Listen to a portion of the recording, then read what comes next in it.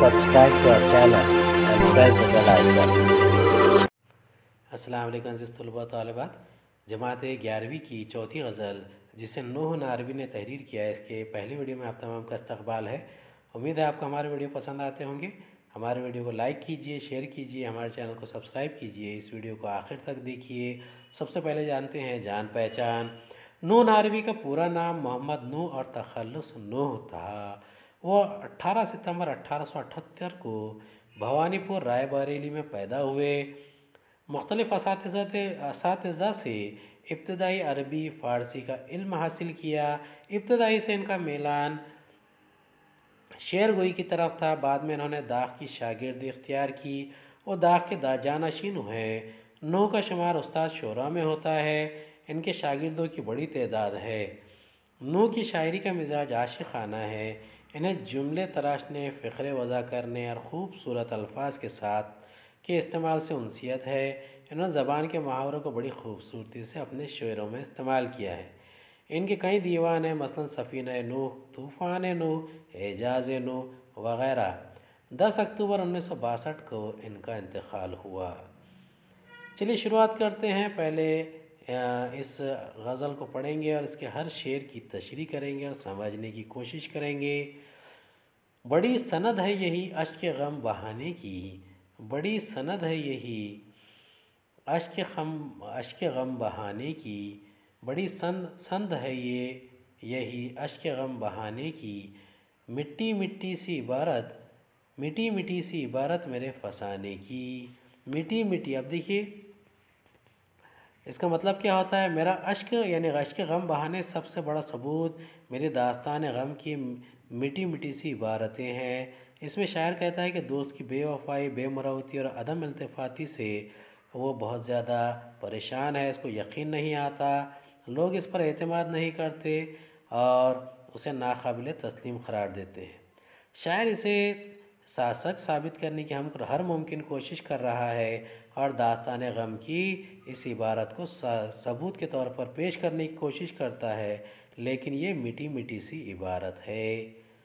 मिली ये दाद हमें अपने दिल लगाने की, मिली ये दाद हमें अपने दिल लगाने की, तेरे सितम सहे बातें सही ज़माने की। इस शेर में शायर कहता है, दोस्त, तुझसे दिल लगाने की ये दाद यानी बदला मिला कि हमें तुम्हारे भी सितम सहने पड़े और ज़माने की बातें भी सहनी पड़ी। शायर का मोहब्बत का जज्बा सच्चा और वालहाना है और जिसे शायद दोस्त समझ नहीं सका और इसीलिए वो अपनी बेवफाई और नाकदरी करने की आदत से बाज नहीं आता। शायर के दिल पर चोट लगती है और वो जबर को सह गया। और यही नहीं, इश्क मोहब्बत के मामला में मुलविस होने की पादाश में ख़ास तौर पर वो दोस्त को की जली कटी बातें भी सुनता है और बातें सहता है, ज़माने की भी बातें सहता है। जो कुछ कहा वो कहा, खैर अब खामोश रहो। जो कुछ कहा वो कहा, खैर अब खामोश रहो। दिलाओ याद ना गुज़रे हुए ज़माने की। इस शेर में शायर कहता है, दोस्त, तुमने अब तक जो जो चाहा, जो कह दिया अब खामोश हो जाओ, गुज़रे हुए ज़माने की याद न दिलाओ। अब यानी बिछड़ने के जो तवील अयाम है, उसके बाद वो जब मिलता है तो शायर हिजर के ज़माने के लम्हात और वाक़ात को लगातार सुनाया जा रहा है। इनका ज़िक्र खुशगवार नहीं, तकलीफ़ की दास्तान है और उसे बहुत ज़्यादा सुनकर तकलीफ़ हो रही है। इसके बावजूद वो कहता है कि गुज़रे हुए ज़माने की याद ना दिलाओ, कि हिजर के ज़माने की तकलीफ़ें नाकबिल बर्दाश्त थी। और इस किस्म की जो लम्हात है, वो बहुत ही ज़्यादा तकलीफ़ दा होते हैं। मका हो ये मुबारक मकान वालों को, मकान हो ये मुबारक मकान वालों को हमें है फ़िक्र किसी दिल में घर बनाने की। अब इस शेर में शायर कहता है कि ये मकान मकान वालों को मुबारक हो। हमें तो किसी के दिल में घर बनाने की फ़िक्र है। यानी घर बनाना, यानी कहीं पर जाकर बैठ जाना, पाँव जमाना, ये मुहावरा इस्तेमाल किया गया है।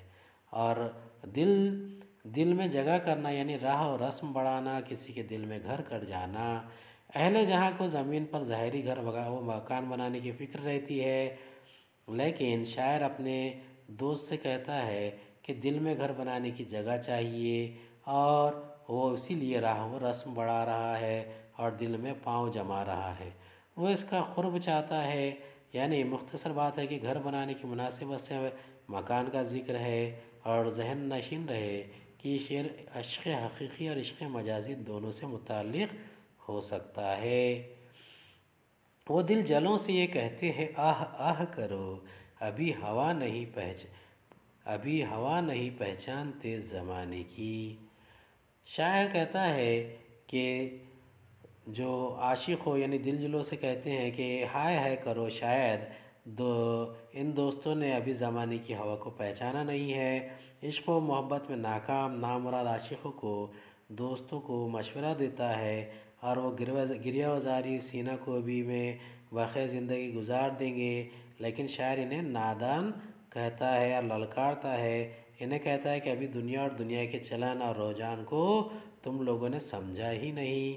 और अगर समझ जाते तो तुम दुनिया ज़माने की हवा को पहचान जाते। अलावा खाना ख़राबी के और कुछ भी ना हो। अलावा खाना ख़राबी के और कुछ भी ना हो। यही शनाख्त है मेरे गरीब खाने की। अब इस शेर में शायर मेरे यानी मेरे गरीब खाने, यानी शायर के घर की बात की जा रही है। और वो कहता है कि पहचान सिवाय खाना ख़राबी के और कुछ भी नहीं है। दोस्त से ताल्लुक़ इस्तवार होने से कबल शायर की हालत, शायर दौलतमंद था, उसका घर बार था, लेकिन दोस्त से शनासाई हुई और दोस्ती में सारा ध्यान वो अपने दोस्त की तरफ़ रहा, अपना सारा माल उस पर सर्फ करता रहा। आखिरकार वो कारोबार और अपने तमाम चीज़ों से अदम तहजी का शिकार हो गया और उसके हालात ख़राब हो गए, जो माल ज़र था वो सब लुट गया। दोस्तों से धोखा ही देता रहा और यही बात यहाँ पर शायर ने बयान करने की कोशिश की है। ये हमको सांस उखड़ने से हो गया मालूम कि एक तरह नहीं रहती हवा ज़माने की। अब इस शेर में शायर कहता है कि सांस उखड़ने से हमें मालूम हो गया कि ज़माने की हवा हमेशा एक सी नहीं रहती।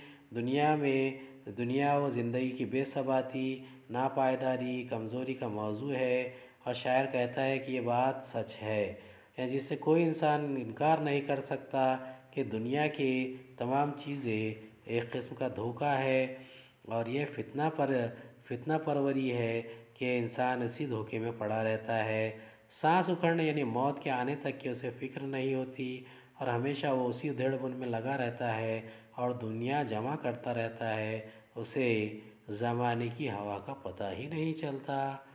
उठाए हम कोई तूफ़ान तो बयां भी करे, उठाए हम कोई तूफ़ान तो बयां भी करे, वो बात पूछते हैं नूह के ज़माने की। अभी शेर में शायर कहता है कि हमने कोई तूफ़ान उठाया, यानी आफत तो मचाई नहीं तो हम मान लेते, वो तो नूह के ज़माने की बात है। इस शायर में शायर के नाम तखलस, नूह और तूफ़ान नू की जानब, तवज्जो मरकूज़ होती है सनत तलवी का शेर है। किसी बात पर दोस्त ने शायर पर अब तूफ़ान उठाने यानी आफत मचाने का इल्ज़ाम आयद कर दिया।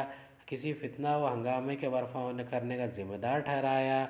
शायर अपने ऊपर आयद होने वाले इल्ज़ाम के रवैये के तमाम चीज़ों को रद्द करता है और कहता है कि मैं तो सादा मिजाज हूँ, अमन पसंद हूँ और मैं इस इल्ज़ाम को कबूल नहीं कर सकता। शायद तुमने तूफ़ान नूह को मुझसे मंसूब करने की कोशिश की है। उम्मीद है ये वीडियो आपको पसंद आया होगा। अगले वीडियो में दोबारा मुलाकात होगी।